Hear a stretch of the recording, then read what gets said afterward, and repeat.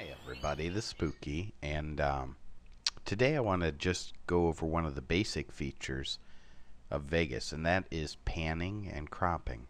Okay, um, a couple people have asked me how you actually pan and crop, so I'm going to move my little display window up here. Okay, first thing we're going to do, so we've got our video clip in here. We're going to go to the Event Pan Crop.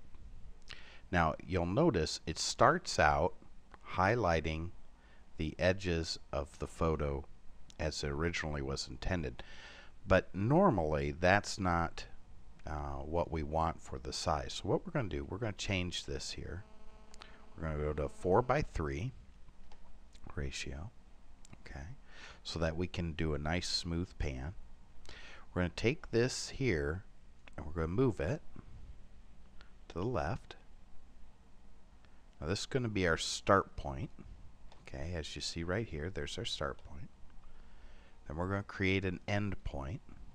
Okay, let's move that a little bit further in here so it stops before the end of the clip.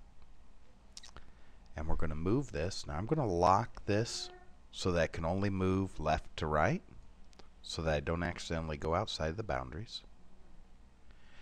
And then we're going to go ahead and play that. So let's see how that looks. You've got a nice smooth video transition there. It's pretty simple to do pan and crop. Okay. Now you can also do some other things with this. For instance, if you want uh, to zoom into a portion of this video, okay, let's say um, uh, right about uh, two-thirds of the way in, I want to zoom in on this building. I'm going to unlock this for a second. Maybe zoom up to the skyline. We can do that. Okay.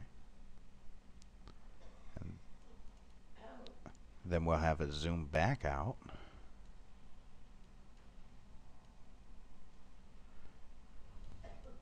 So it's, what it's going to do is it's going to start out full here it's going to zoom in on the building.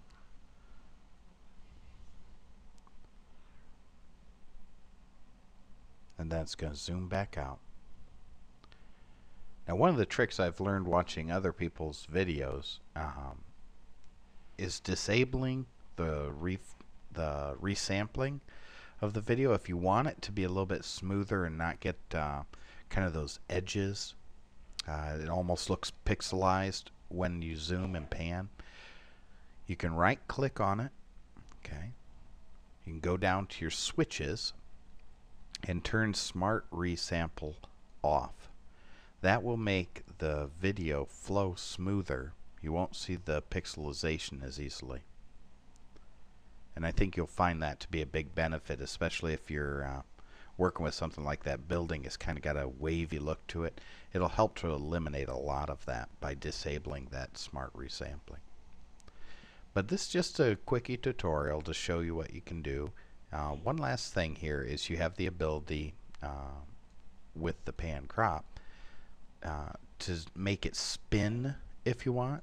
So let's say I wanted it to go in here but I wanted it to spin.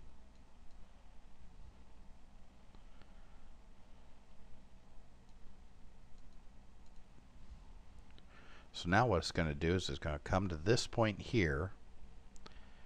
Then it's going to spin. And then out. Okay, real simple. Uh, nothing real magical about it there.